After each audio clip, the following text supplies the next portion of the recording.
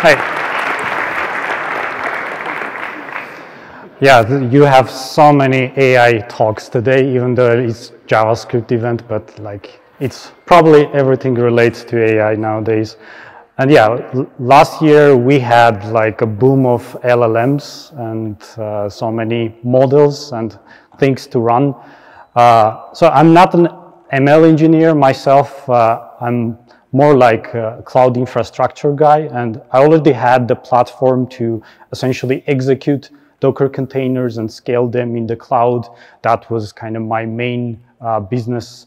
Uh, so my perspective is that I'm really interested on the aspect of how to scale the LLM model executions uh, in a cloud. And for me, that was like no brainer actually to build very simple API and provide like some kind of like execution model uh, for LLMs uh, for generic purpose usage, like calling APIs from the front end and abstracting away general model hosting problems uh, that usually like AI engineers face nowadays. Uh, but yeah, turned out that uh, there is even cases that uh, some customers can't even use other servers or they refuse call APIs. And that was the main topic today that wanted to discuss uh, the specific case that we have done for uh, one of our customers, so executing the LLM model directly in the browser without using any external uh, services or APIs. Uh, everything works uh, directly in the browser. And that was essentially the custom LLM model that we fine-tuned. Uh, so yeah, that, that will be generally the topic for today's call, today's uh, presentation. Yeah, uh, everything goes to calls nowadays. Yeah, this is like a good place to introduce myself, actually. Uh, I'm Tigran. Uh, so I uh, run the company called TreeScale, which is essentially the abstractions on top of the AI models. Uh, I've been living in Finland for the past four years, but uh, previously when I've been in Yerevan, so I had a few startups here. I'm sure if few of you might know the Gazar AM, which is a fruit and vegetable delivery service that I've been uh, co-founder.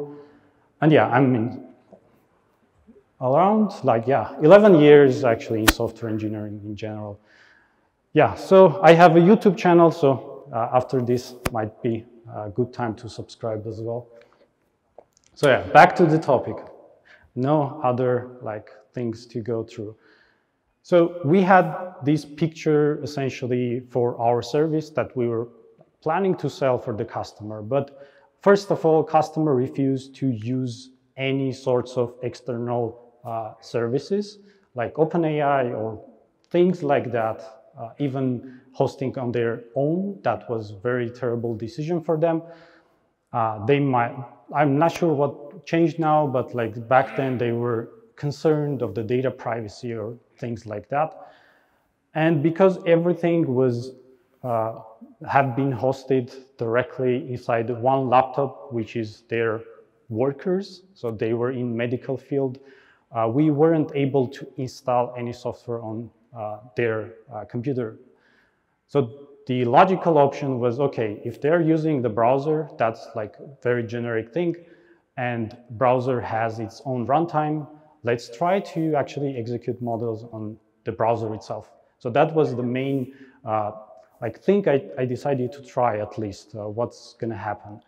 Uh, so logically, I started to research what's available, and the first thing that uh, kind of caught my attention is this uh, machine learning model execution runtime called ONNX, uh, which is created by Microsoft internally, but then it's, it lives on, the, on its own. They have their own machine learning model structure and execution flow, and it's very hard to convert uh, kind of classic ML models in PyTorch nowadays, how, how you fine tune them into their runtime, and it's very slow compared to other platforms. So that wasn't the option, but they still have the ability to run things on the browser uh, specifically the transformers models uh, that they use for small things like converting text into multiple languages. And another option was uh, available is the project called MLC, uh, which is essentially the same thing as ONNX. They have their own runtime. Uh, and back then, they also had this library called WebLLM, which was very buggy. Uh, I wasn't able to execute even simple things uh, on the browser side. Uh, but now, frankly, this is the best option. If I will start like doing this project today, Web LLM is probably the best option. They also have the Web GPU support and everything is fixed nowadays. It's really good option uh, for this kind of use cases. But yeah, for, for me, that wasn't also the option. So I jumped straight into a bit hardcore stuff. Uh, so I'm not sure, like, if you know or not, like, Llama CPP is probably the most popular nowadays uh, LLM execution library, if you call. There is too many projects built on top of Llama CPP. For example, I use Ollama daily basis and we host Ollama or on our own. And it's able to execute things like Llama, Mistral, Gemma, Falcon, pretty much all of the open source models that available now. Uh, Llama CPP is able to execute, and the founder created this library specifically because it doesn't have any dependencies uh, based on the runtime that it's executing. So uh, from the words of founder, like he was kind of very upset that uh, uh, runtimes like PyTorch, which is like, or Torch in general, which is nowadays pretty much a standard, it has very um, much dependent uh, interface on the uh, runtime or like operating system that it's running on. But the founder of Llama CPP tried to at least abstract this type of thing.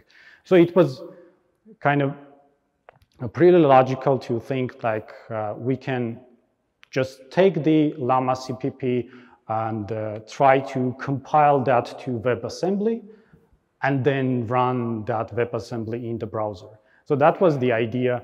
And uh, from the perspective of Llama CPP, at least, uh, they had really good examples on how to do this kind of basic stuff. And I've been able to uh, construct basic implementation of the compiler script, which is, as you can see, like just a couple of lines. Uh, I've been using the M Emscripten, uh, which is standard way of compiling essentially the C++ uh, projects into WebAssembly. It has very basic functionality, just making a CMake and for those who don't know, CMake is just a configuration format for C++ projects. Uh, and yeah, these few lines essentially compiles Llama CPP into WebAssembly without that much complication. Uh, so the complication part starts uh, when you try to actually execute a model. And after like a couple of weeks trial and errors, uh, so I found that without providing this uh, force file system flag, which essentially creates a virtual file system within WebAssembly for Llama CPP just to emulate the file system and take out and run an actual model from a virtual environment. And also provide the maximum memory of four gigabytes, which is actually the hard limit for the WebAssembly to have as a memory capacity. You can't literally execute any other way uh, LM models with less memory, but at the same time, you're limited to four gigabytes only in WebAssembly. There is no way uh, out of this limitation. But for mod small models, this works fine. Uh, and after providing these flags, essentially, uh, the compilation went through fine and uh, the output was just kind of three files, uh, main.js, uh, main wasm, which is the binary WebAssembly format, and an actual main uh, worker MGS, uh, which is just a wrapper to essentially help you execute things uh, in the browser for the WebAssembly. Uh, the rest, the worker.js file is something that we're, we're going to look uh, through.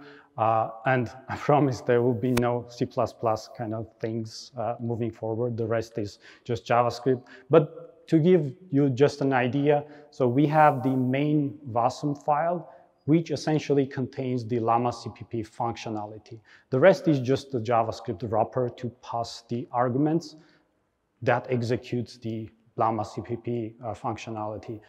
But the fact that Llama CPP could be compiled to Wasm without any dependencies, that's pretty, pretty amazing. And uh, they, they, are actually working now uh, to support also WebGPU for this kind of use cases. Yeah, so moving forward, uh, now JavaScript part. So in the UI uh, application side, there is two kind of big components. First is main UI thread, uh, which could be like React.js application or uh, Svelte, anything, even Next.js server works fine. Uh, but we have to create two separate flows. One is web, worker and another an actual main thread of the React that there is running. So in this like piece of code, this is how we generally initialize the web worker. And whenever we re receive an message from our uh, worker.js file, which is supposedly going, going to be the LLM output uh, from Llama CPP's uh, WebAssembly, uh, we, we are going to just display that on a UI uh, using these classic standard things. There is kind of nothing new actually here. Uh, it just appends the output coming from worker to some kind of state that we have in our React application. So this is like pretty basic uh, in, in, terms of like implementation. The complication starts uh, with actually worker file, uh, which uh, frankly, I wanted to kind of dive deeper in this worker worker.js, but at some point I understood that I can't display the entire functionality. I'll just bring some, some, some of it, very kind of little tiny parts just to give understanding on like how generally this works. So first of all, the worker.js file itself contains the import of main.js, uh, which if you kind of remember from this part, it's the output of the actual WebAssembly compilation that we got. And when we import that, it essentially contains the wrapper functionality of uh, the WebAssembly that we are going to execute. This also has the ability to tie to std out, uh, which in kind of Linux's terms means the output of the application itself, everything that you see in the console log when you run some kind of terminal-based application.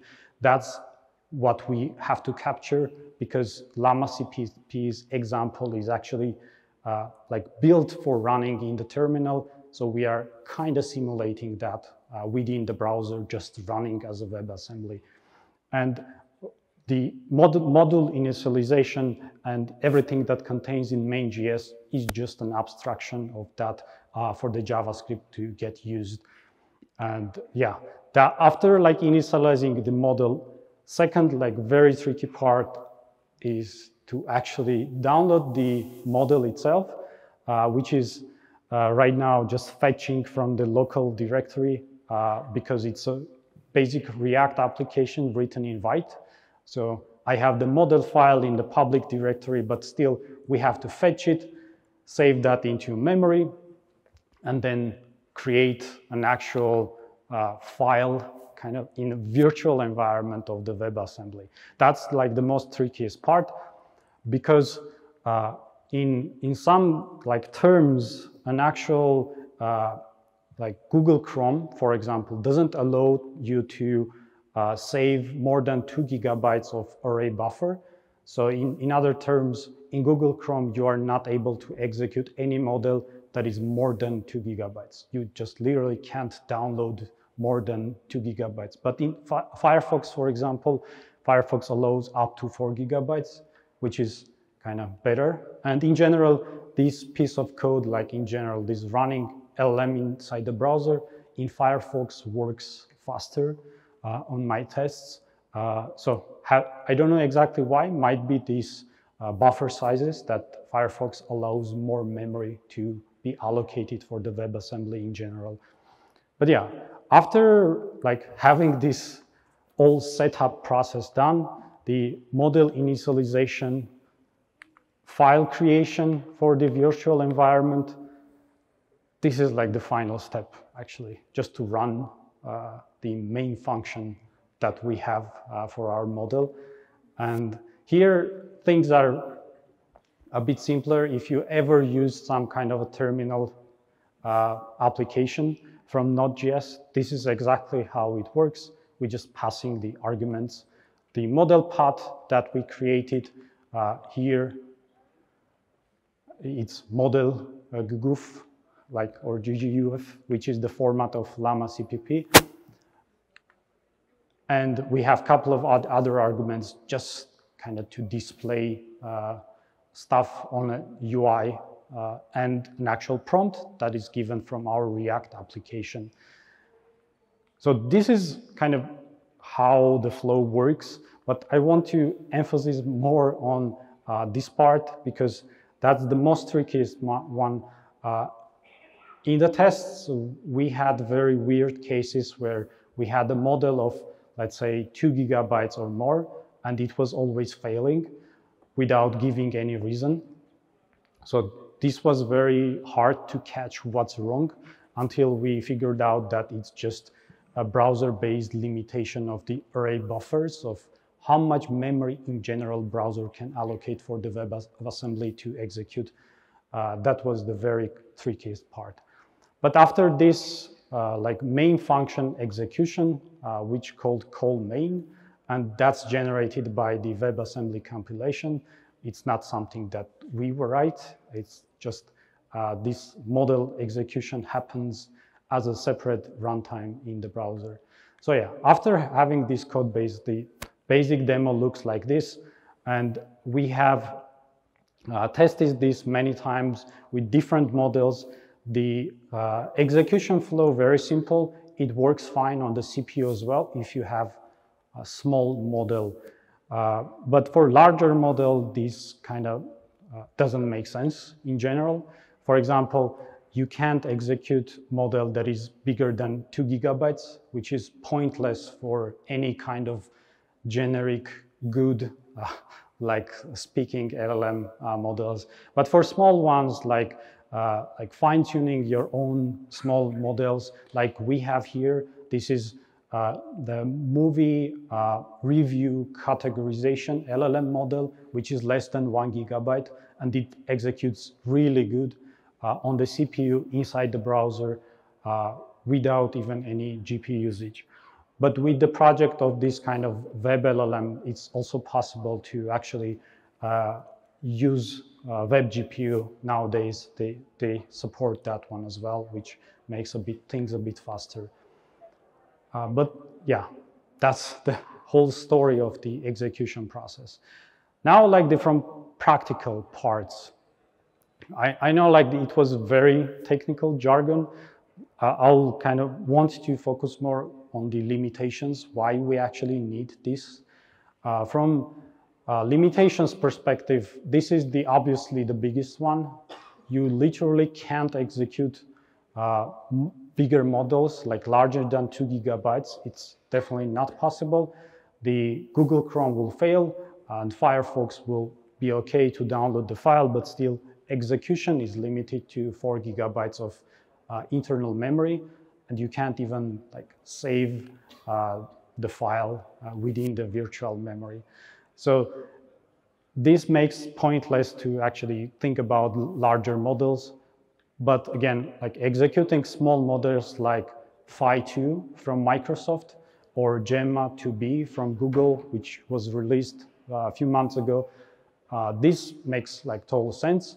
It's possible, it's doable, and for small tasks, small use cases, uh, this can be like very effective without having any server it's not optimal for, of course, like larger use cases, like if you have large prompt or like generic use case, this doesn't make sense. But from technical perspective, uh, this actually uh, makes things uh, a bit interesting from the perspective that you can actually take Phi2 uh, model, base model, fine tune that to some very specific uh, data set, and then have it available very small, like few hundred megabytes of LLM model that can be executed directly in the browser. Uh, and for some use cases, for example, we had the medical record summarization, which had to be done uh, on the laptop of the doctor without having any external uh, software. That worked really well, and it, the performance of the model was good as well. And uh, yeah, we had this uh, like effective JavaScript imp implementation of uh, that sort. Uh, yeah, so that was like very short and very technical. I didn't want it to go all the way uh, from like very deep into implementation side because I'm, I'm sure you might have some questions that I might answer. Uh, if like any, raise a hand. Yeah, go ahead. Thank you for the presentation. I have a question.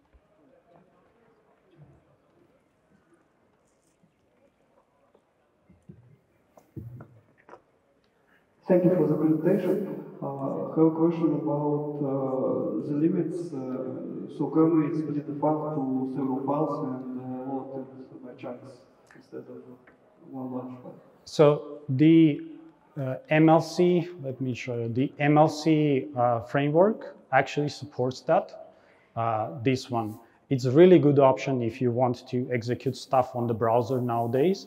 They have their own runtime and they split the file into multiple chunks because of these two gigabytes limitations in, in array buffer. Uh, but Llama CPP doesn't have that capability. Uh, the model format itself in Llama CPP, just one large file. That's kind of how it works. On our implementation, we didn't have that option. But now with this web LLM, their past release, like one month ago, uh, allows uh, splitting model into multiple files, like sharding in a sense, and they also support web GPU for execution. So this is right now really good option if you try to execute stuff on a browser. Yeah, thanks. And uh, about executing, uh, do, do it execute the file from scratch on each uh, request or keep in memory and you use it like API with, with already preloaded data?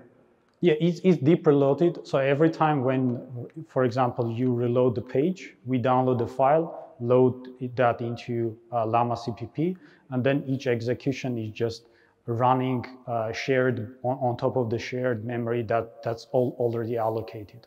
So we, we don't download. It's like a chat interface. So you, we, we preload stuff and then execute prompt every time when it so comes. So Llama process uh, keep, keeps in memory between calls inside uh, one uh, page.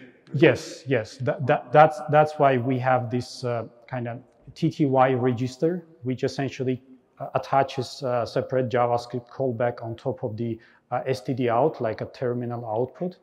And every time when Llama CPP gives some kind of output, we just take that and then provide input. Uh, so we implemented that in C++ actually, that for, for specifically that use case. Thank you. Thank you.